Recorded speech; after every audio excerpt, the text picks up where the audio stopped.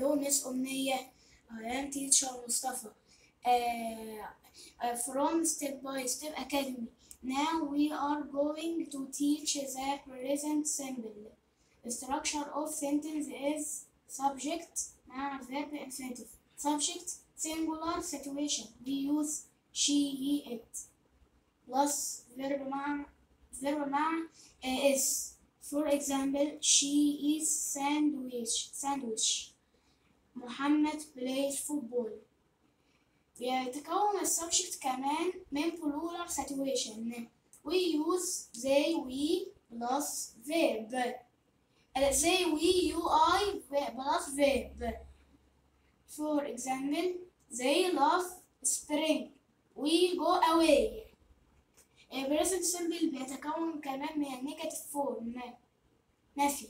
We use doesn't before verb in the singular situation. For example, he he plus doesn't and he doesn't he doesn't plus verb infinitive. He doesn't play well.